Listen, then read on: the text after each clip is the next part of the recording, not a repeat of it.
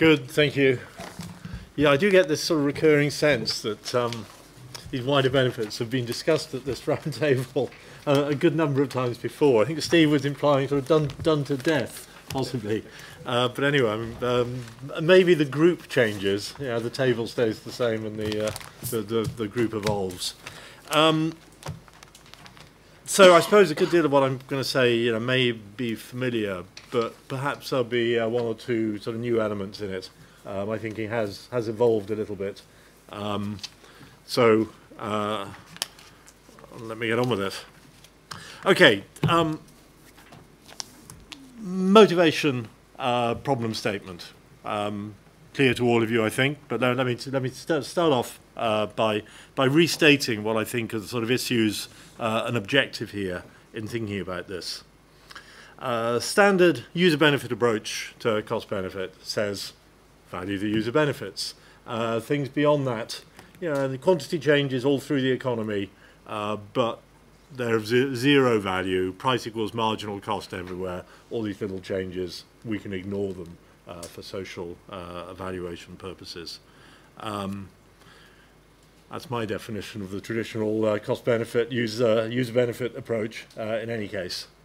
But of course, we all have this sort of deep instinct, I think, that transport is kind of yeah, really fundamental uh, in shaping the way the economy operates, certainly shaping cities, um, the formation of cities, the effectiveness of cities, you know, what really drives uh, city growth. So we've all got this you know, fun fun fundamental view about the importance of transport. So the challenge is um, to capture the ideas uh, that uh, underlying that to capture them, uh, to formalize them, without opening the floodgates to a load of nonsense coming through. So to capture these ideas, but not such that anything goes, and we can all say increasing returns to scale and think of a big number. So uh, capturing the ideas based um, in rigorous economics that imposes a discipline, hopefully also gives a route into uh, quantification, so we can capture the ideas, but um, in a tight precise way. So that's the real reason why we're doing this. I think there are other reasons as well. Um, as I say here, uh, engaging fully with, with, with, with, other, with other stakeholders. I mean, Jonas was talking at the end of the last session about the importance of uh, what we do um, having policy credibility. Um, if we head off, I mean, in the HS2 debate in Britain, um, there was formal analysis doing one thing, a public debate about something else, and if the two don't meet in the middle, then clearly um, there's uh, real sort of credibility problems and risks to our engagement in public policy. Uh, so making sure that uh, we're engaged with stakeholders. Now, we, we, we might think that some of the things they care about, like GVA, uh, are inappropriate. we should be uh, concentrating on welfare. Um, they're certainly often talking about local impacts, about the, you know, the city mayor talking about the impacts on his city, which is perfectly legitimate, even if the policymakers' uh, concern is at you know, a somewhat higher national level. So we've got to engage fully, fully with that. Okay, so following from those observations, what, what, what do we need to be doing? I've put a number of sort of introductory points here, uh, which, which, which I think are important. First, we have to have an appraisal methodology that really does mean that the strategic case and the economic case uh, for a transport project uh, in, are, are, integrated and interact. Uh, that means really, it means that people doing appraisal should think what the project is actually for. Um, if there's some strategic objective it's designed to achieve, then that a better feature in the appraisal uh, rather than having the appraisal just going through a set of you know, tick box things. So doing that integration, I think, is important. Uh, recognizing that the spatial distribution of GVA and things you know, is of interest. Uh, might not be the number we're ultimately concerned with, but we you know, shouldn't dismiss it. We should recognize it's, it's of interest. Then, you know, the core analytical task, obviously identifying and measuring the wider benefits. And I think trying to come up with a one-dimensional value for this, although we'll, we'll, we will be debating this uh, tomorrow a little more, I imagine. But, you know, money is... One of the advantages of the money metric is that you can compare you can uh, compare things once you put them in that same that, that same metric. But of course, uh, doing all that in a manner that's feasible, proportional, transparent. Um, well, I've said it there, not excessively dependent on the uh, consultants running very large models. Uh, we want a toolkit that ideally we can apply in a rather sort of modular way, where possible, a bottom-up way, uh, yeah, based on local information, capturing this without having to run some enormous model every time. So that's the uh, my view of the approach of where we should be aiming. A schema that I've used sometimes to think about this, know, there's user benefits tracing down the uh, left-hand side here in, in the standard way. But then there's sort of economic geography in the middle. Yeah, transport changes how close I am to you, even if you don't actually move. You know, effective uh, proximity changes and also it's changing the location of households, firms, whatever it is. It is moving stuff around the economy. So it's these changes that I think uh, have value. Therefore, we need to study the changes and value them. Now, what I want to talk about today are the three elements of wider benefit that I think are probably quantitatively uh, the most important and the ones where we should be concentrating. First one is the uh, productivity argument. Uh, proximity, agglomeration, the benefit of cities, uh, all that stuff. I think there are fairly well established methodologies and a fairly good empirical basis for doing that. I'll talk about that stuff fairly quickly, I hope, but with, with, with a little bit of detail. I don't know how much uh, people do know, know about it. Uh, move me on if, uh, if, I, if, everybody knows it. I'll talk about that a, a, little bit. I think there's an established and good methodology there. Then I want to talk about um, the effects of induced private investment and land use change. What I want to get hold of there is the idea that transport changes the attractiveness of a location. You know, you do the uh, you do the transport, and that regenerates your city centre, makes it a vibrant place. The stuff goes on. I think it is possible to develop a fairly simple, straightforward methodology for getting hold of that, and that's what I want to present. I'm not sure that that methodology is in use at present, but let me throw it out and um, see see how people react. And I'm not sure it's in the paper that was circulated either. By the way, I've you know tightened up thinking a little bit since since writing that. Uh, and then the third thing, yeah, in quantitative terms, that's bound to be large is labour market stuff, employment. But you know, let me preview what I'm going to say. I'm really going to put that up in order to shoot it down again. Um, but you know, quantitatively uh, it, it's bound to matter. Um, it, it, it, has got to be there. So those are the three things I basically want to talk about. Um, and for each of those, um, yeah, it's important to have to understand the mechanism, what's going on, the strategic case, the narrative of why this particular project yeah, may do something on any one of those headings.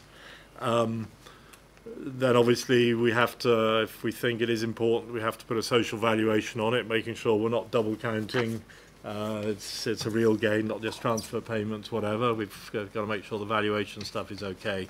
Then we've got to think, you know, is there practical methodology uh, to be able to do it? So that's sort of outlining what I want to do. Uh, let me start with the first of those, just a couple of slides on the uh, productivity, uh, proximity, agglomeration, and all that. And this may be well known, but let me, let me, let me run through it uh, in any case. The mechanism yeah, transport enables connectivity. Uh, seems to be a buzzword that's uh, increasingly used at the moment, uh, for better or worse. Um, it's really just Adam Smith, right? Its scale and specialization is determined by the size of the market, and if transport effectively increases the size of the market, that's good for scale and specialization, right? That's, that's the heart of it. Um, so good transport systems allow um, better matching of workers with jobs, they allow firms to be big and for you to have intense competition. You know, they've shifted that, that trade-off if you're in a large, dense, thick, thick market. Um, above all, I think it's this sort of specialization, right? Uh, you have you have an incentive in workers' firms have a real incentive to get very good at narrow specializations if you're in a big market where you know you're going to be able to sell that specialization to more than one bidder. Uh, if you're in a small If you're in a very small market, you can't sell it at all. If you're in a medium-sized market, you might be able to sell it to one person, but you'll be held up and won't get the return. But if you're in a big market, you can specialize, right, uh, as, as workers and as firms, and that um, raises productivity. Um, okay, so the mechanism there, lots of papers on agglomeration dating back, you know, goodness, goodness knows how, how far. Um, I thought there was something else on that slide. I hope this is the latest version of the slides that we've got here, because I was changing them this morning. Uh, the other thing I thought was there was that face-to-face -face is still important. Um, I thought I'd added that as a, as a, as a bullet point. Maybe, maybe, I didn't. I do hope we've got the latest version, because it diverged a lot towards the end. Um, okay, um, that's the mechanism. Social value from this, yeah. So people are productive in these you know, dense, thick markets, whatever. Um, that raises their productivity.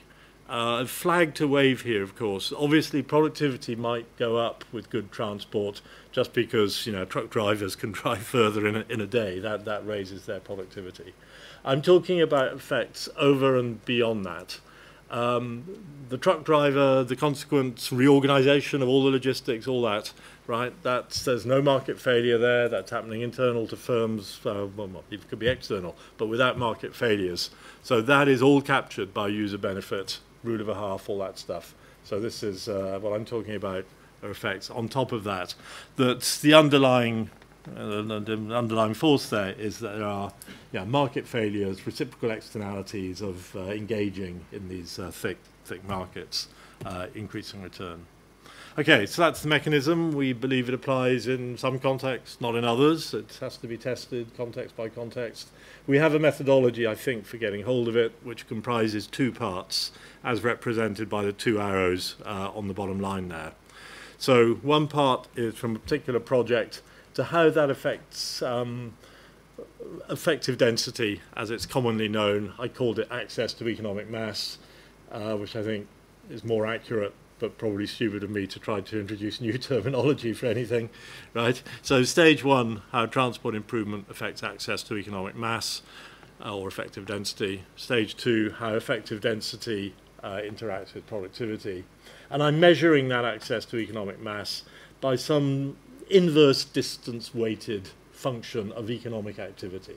So in the equation I've written there, economic activity is employment, uh, F is a decreasing function of, of, of, of distance. Okay. To apply that methodology, what do we need? Well, taking the right hand, two stages in there, taking the right hand half, uh, access to economic mass, how that is related to productivity. The point here is that we have yeah, a well-established, I think, pretty robust, high-quality uh, econometric literature really investigating that relationship. Um, I'm sure Dan is looking at those numbers and thinking, where the hell did he get those from? as, as, a contributor to that literature. Uh, but the point is, we've got the evidence base at the level of areas, firms, individuals, um, generating this elasticity of productivity with respect to city size, access to mass, whatever it is, of these sorts of numbers, 0 0.0 something, which is a big number. Okay, um, the cross section it's huge. Obviously, as you go from city of 200,000, you know, you're doing a lot of doublings, right? You're getting that. That's a huge elasticity. But even for transport improvements that have a a non-trivial effect on the number of people employed in the centre of London. The number's big enough uh, to get a productivity kick. But the, the point is, this is a well-established literature done at lots of different levels, yeah, right down to tracing individuals through their lives as they change jobs, move to the city, come back again to the countryside, whatever. So uh, a depth of empirical research, which I is is important. There are, you know, we see other numbers used in transport appraisals on the basis of considerably less work uh, uh, than this, I think. That's not to say there aren't any issues left. I've put some of them there. Uh, the spatial range of these things. Um, is it just within a travel to work area? Is it between cities as we join up cities? Um, there are estimates of that, but I think it remains uh, a bit of an issue. Attribution to a particular transport mode is hard. Um, we've, you know, if, if a place is, I don't know, mainly served by road, but you're considering a rail project, uh, quite how does is that going to feed into changing the effective density? The appropriate controls uh, is, is, is an issue. Um, you know, you'd think you'd have to control for skill, but on the other hand, if someone only acquired the skill because they were in the city, then you shouldn't control for skills, right? So there, there, there are issues, but um, yeah, robust would be my claim. The other step in the quantification application of this is the bit on the uh, left-hand side. So for a particular project, um, how does that change access to economic mass? Point I want to make here is that it happens in two different ways. One has become called, at least by some of my friends in the Department for Transport in Britain, static clustering. Um, that is to say, even if nothing moves, uh, you've become closer together, right? There are DIJs in that mm. equation. Second, things will move, okay? That's the dynamic clustering. Uh, so things will relocate and that changes the employment distribution of employment across locations in the equation.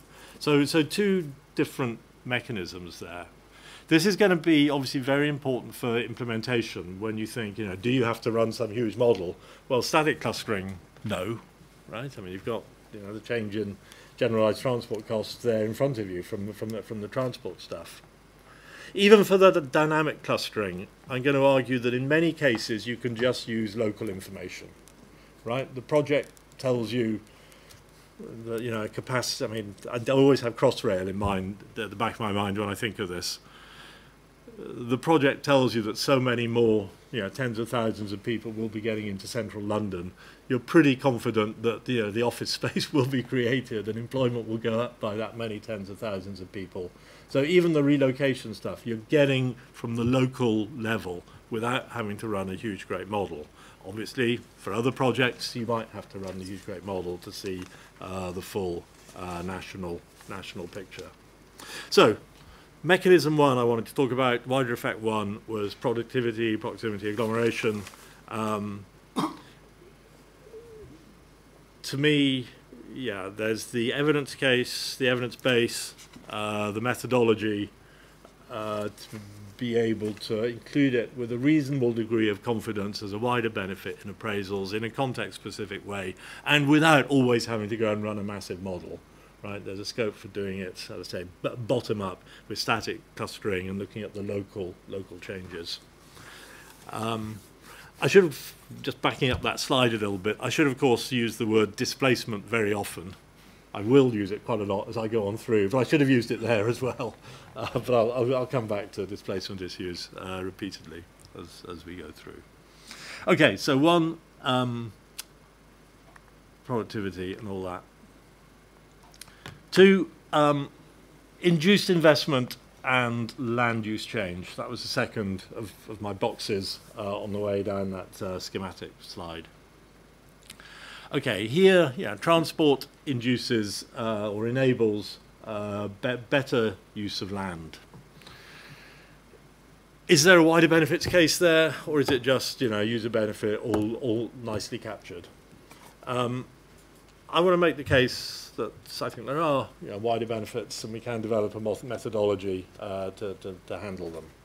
Uh, I'm going to do that by means of two examples. The first one is going to be a rather simple uh, sort of residential de dependent development, which is really just going to be, you know, second year undergraduate applied welfare economics, you know, two, two minutes on that. Then a slightly uh, richer, more interesting case, which is the large scale retail or office development. So the city centre that gets you know, the boost as a consequence of uh, having a station or having more commuters uh, or whatever. Um, could just be the supermarket on the edge of town, but or you know the sort of shopping mall on the edge of town. But really, for the second example, I do have in mind sort of, I mean, not not necessarily regeneration of a poor area, but revitalisation of a city area. So the idea, the idea that transport makes a place more attractive. Something something's going on with the land use change that makes it more attractive.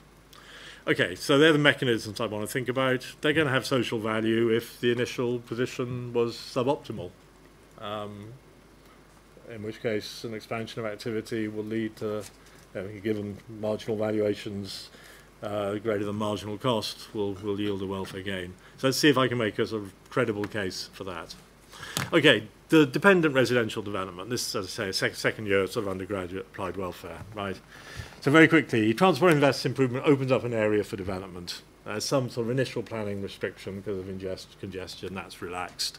You know, what, what's the value of doing that? Well, it's the user benefit plus uh, a bit related to the initial price cost gap and the quantity change. Or to be precise, it's the quantity change times the price cost gap, where that first equation is the price cost gap before and after averaged. Um, so it's a linear approximation to integrating along something or other. Okay. Um, obvious elementary stuff, but I put it up here to make a couple of points. First, this may be a large source of additional welfare gain. Call, you know, well, let's call it wider benefit. It's over and above uh, the direct user benefits. Providing, of course, that the initial planning controls were suboptimal. Yeah, maybe they were very strict, uh, but for good reason, because they were countering an externality of some sort, offsetting an externality of some sort. So bear that in mind. Second comment, um, both the planning change and the transport improvement are sort of necessary conditions here. So trying to uh, attribute the welfare gain partly to um, transport and partly to some other policy change doesn't work. All you can say, not looking at anyone in particular, Chris, uh, all, all, all, you can say is that they're both uh, necessary conditions, and that sort of attribution isn't going to work. Third comment, um, some government departments do, I believe, think that um, it can all, that effect can all be captured in land value uplift. That, of course, is true only if the elasticity of demand for the houses built is perfectly, is, is infinitely elastic. Okay? If not, there's a price fall and some of the benefit is passed to the, you know, the, the occupants of the houses whose, whose price has fallen. So land value uplift is an upper bound rather than the correct, correct measure. Okay. Um, that was done for sort of completeness. Let me try and move on to a sort of richer, richer case here. And again, again, try and get hold of this idea that transport improvement can make places more attractive. Right, the simple model in my mind here, and you can tell me whether this captures the flavour of the argument or not. The simple model in my mind is that. There's a transport improvement. Uh, think of it, shopping. Think of this in the shopping context. I'm going to argue it's more general, but think of it as being the shopping context. Uh, transport improvement. So a particular place has more shoppers, uh, increased spending. That increases rents uh, in the location. I'm the developer, so given this increase in rents, I increase space. Uh, think of that as building. Okay, I build tall or something, right? So the developer reacts. There's more space, so that means more shops come in and that brings with it an increased attractiveness. And I've used the language here of monopolistic competition and product differentiation. I mean, I do international trade as well, right? So, yeah. The, the, the idea that trade expands the set of products available, changes the number of firms, changes the number of varieties. So variety sounds a very artificial word to use but it's referring, referencing that monopolistic competition literature. But of course, the place has therefore become more attractive, um, therefore spending increases, right? So there's an equilibrium, you know, some sort of loop there, and obviously an equilibrium value. Is there any wider benefit associated with this? Well, I think there are two possible sources, of which probably the second is the more important, but let me talk about both of them. First, yeah, it may be that the developer has monopoly power, right? You know, particular urban site. If you do a big development, then an increased space by a non-marginal amount, that presumably does reduce the price of space compared to what it would be if you hadn't, you know, following the transport improvement, but if you hadn't done the increase, right? So maybe there's a distortion there. Maybe there was yeah, suboptimal development uh, initially, right? But more importantly, what we want to capture is the idea of increased attractiveness. Um, so it is the case quite generally that if new varieties, new products, new shops, whatever are coming in, then the economic agent, the firm that introduces that variety, does not capture all the surplus or to be precise, if they're not a perfectly price discriminating monopolist on this new thing, they will not capture all the surplus. So some of it is handed over uh, to, to consumers, in which case that too is suboptimal and expanding it is a source of welfare gain. And of course, it's exactly the sort of welfare gain that you know the new trade theory's been going on about for the last, God, that's part of it, uh, last 30 years, um, for a long time now. But let's think about it in this context. Okay, so developing those ideas a little bit further, those are the two uh, distortions, market failures there that possibly the transport improvement is interacting with. Uh, so there's wider benefit if either A or B and less than 100% displacement, because obviously uh, there are, yeah, this is one shopping area, there are others dotted around. Okay, oops, okay. Um, the point I really want to make here is that if we want to get hold of these things, you know, there, there is a literature saying that you model the attractiveness by, I don't know, having some shift in everyone's demand curve. I mean, it's horrible, right? If you want to do this, do it bottom up, right? We know what spending in this location is. We know what it's projected to be once all this commercial development is in place. We know, for argument B, that the ratio of consum consumer surplus to expenditure is whatever it is, um, 1 over sigma minus 1, where sigma is the uh, price elasticity of demand for the variety, assuming it's isoelastic. So in a very bottom-up way, anchored in things that are sort of commercially visible, right? The expenditure, the projected expenditure. We can get yeah, methodology to sort of build up these numbers from the bottom up, not from some arbitrary shifts in, in, in demand curves. So I think there's a methodology here that can be used. You know, we can quantify the price cost wedge on due to monopoly power, we can quantify the consumer surplus that might not be captured by uh, developers of these new shops. Okay, so the argument, yeah, I think there is a workable methodology for what I think is an important uh, wider benefit derived, as I've already said, uh, from from those two effects, A and B, and ground importantly grounded in numbers that are subject to some sort of you know, ability to observe them and commercial case that will be being put forward in the development. So that sort of bounds things. It means we're not floating off into a world of ridiculously inflated numbers uh, look, look, look at what's happening on the ground or projected to happen on the ground and work up from there. What I've just said there is completely analogous. I, I have said exactly the same thing with the word office substituted for shop. It would have take taken a bit of tweaking and you'd have come out with something isomorphic to the productivity case I made 10 minutes ago. Completely isomorphic, where the offices just like being together because there's some uh, spillovers going on. Um, so it's really the same, same model just applied in this other context. Okay, the third mechanism, and I will speed up, I've been going 25 minutes, um, the labour market stuff. Um, two mechanisms here, I think. Um, one, let's call uh, labour force participation, and the other, employment and unemployment. Labour force participation, again, a little bit very standard second year applied welfare economics here. Um, yeah, I think for some transport improvements, you can make the case that they increase labour force participation. That may be by you know a better bus service to an outlying uh, residential estate. It may be by creating job opportunities uh, that draw people into the labour market, reduce the number of discouraged workers.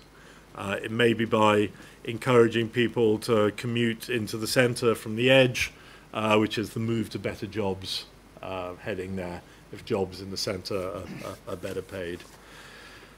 Social value, if there are tax barriers, I say standard applied welfare economics argument, right? If there are barriers to work, your your marginal product is your your pre-tax income. When you're taking the decision, you're looking at post-tax income. You're paying your commuting cost or whatever other disutility uh, from from post-tax income. So there's a wedge, and that's just actually equal to the change in tax revenue um, on on on the uh, uh, on, on the additional employment or the move to better jobs. So a standard argument there, which I think is important in some contexts and is included in you know, WebTAG, um, the, the UK uh, appraisal. Of course, there's another mechanism that uh, yeah, transport improvement creates jobs, reduces unemployment. Um, here, the word displacement does crop up in capital letters and bold and whatever. As I said at the beginning, I think it's important to address these arguments because know the city mayors, the local stakeholders are going to care about this, right? So it's something that appraisal should should get hold of locally, but appraisal should be holding the the, the national the national ring. It should be the referee on, on the national ring. So we do have to ask very, very critically and carefully if you're creating jobs in one area, are you just displacing them from another? Uh, maybe it's tradable stuff and you're displacing them from foreigners and capturing them to your country, whatever. But I really think you know, my default position here is that we live in moderately well-functioning capitalist economies that, on the whole, are not that far, too far away from the natural rate of unemployment. So the default here should be 100% displacement. So, in which case, the employment effects are of zero value. So I said on my, the list of three things, yeah, employment had to be there for completeness. Potentially it's large, and we all know the consultant studies that get huge numbers out of uh, job creation effects but I think it's something we should you know, address uh, largely in order, or partly in order, to, to shoot down to discipline um, at the national level, although quite legitimately the local mayor wants to know. Okay, those are the three points I said I wanted to talk about. Let me very briefly say a little bit about um, forecasting the quantity changes. Um, no point doing all this if it's um, we've no basis for knowing you know, how much commercial development there'll be in the city or uh, how firms will relocate and things. Um, so can we forecast uh, quantity changes? Under what circumstances do we need to resort to uh, big, big models to generate these things?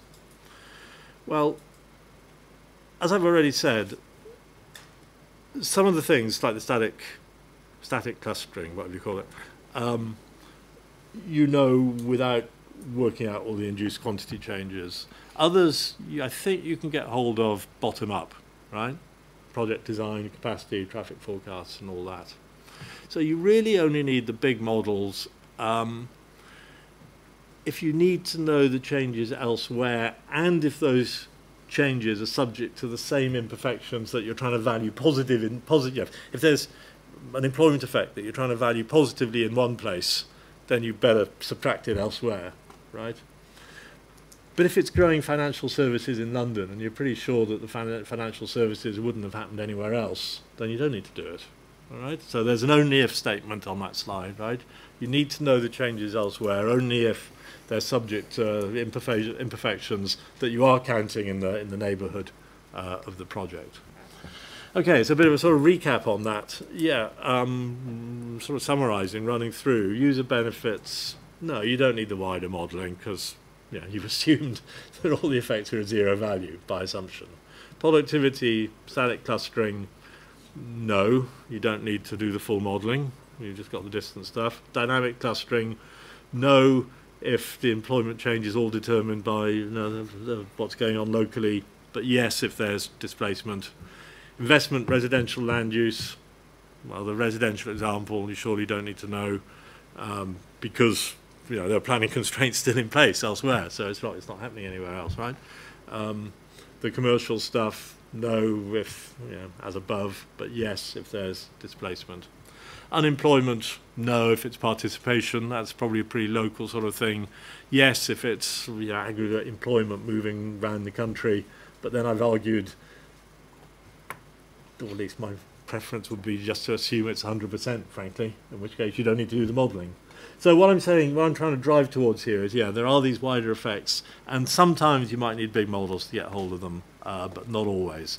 So making a sort of plea for um, a sort of modular approach, you know, taking these sort of modules, the various components we've talked about, doing them in a somewhat bottom-up way, getting numbers that you're basically going to add up rather than put together in a sort of full full model. Where modelling is undertaken, penultimate important point. Where modelling is undertaken, it needs to capture the strategic arguments, needs to be tailored to the context. Yeah, simple targeted models are better than large black box models, uh, in my view. And of course, you think about the sort of incentives in the game here. All the incentive for consultants is to produce an enormously thick report, so an enormously complicated model, and come out with a definite number at the end. Where I think it'd be much better if they um, designed a neat, simple little targeted model trying to tease out a mechanism and produced a nice short report, but probably with a range of scenarios uh, that uh, you can look at and evaluate. But the incentives for the consultancy business is obviously exactly the opposite. Yeah, fat, fat report and definite number, which is unfortunate. Okay, wrapping up. Um, probably said all this. Yeah, we want to capture this idea without letting people go crazy. Um, it's about incorporating changes in location attractiveness. One of the changes is productivity, that's attractiveness to firms. Uh, one is attractiveness to consumers, shoppers, office workers, whatever. That's the uh, commercial development argument. Yeah, when I think about these things, I can come up with a million other market failures, coordination effects, whatever, that could have these sorts of effects. But I think it's important actually to concentrate on a few, and I've given you two or three, two or three here. Um, yes, I'm grounded very firmly in the tradition of applied welfare economics. Maybe that's too conservative. I mean, there are dynamic growth effects and all that, but still, well, I'm, I'm, I would argue for grounding it firmly in applied welfare economics. The evidence base, um, I hope tomorrow or later today we'll be talking about um, using information from uh, yeah, ex post evaluation of, of transport improvements um, important, but I think there are a lot of econometric issues of identification, simultaneity, uh, external validity, all, all these things are a real, real issue there. So the evidence base I'm talking about using in these examples is mainly trying to get you know, good parameters, these elasticities or whatever, trying to really build a research base on that, and then couple them with very you know, detailed, down-to-earth information. What's expenditure projected to be in this new wonderful city centre you've got, right? But put that together with the elasticities, and we have a story. Um, final, final point. Um, transparency. Um, yeah, you want to do this in a way uh, that it is comprehensible to more than half a dozen people in the country. So it does actually uh, inform a policy debate uh, in, a, in a meaningful way rather than appearing to be a black box. Let me stop there. Thanks.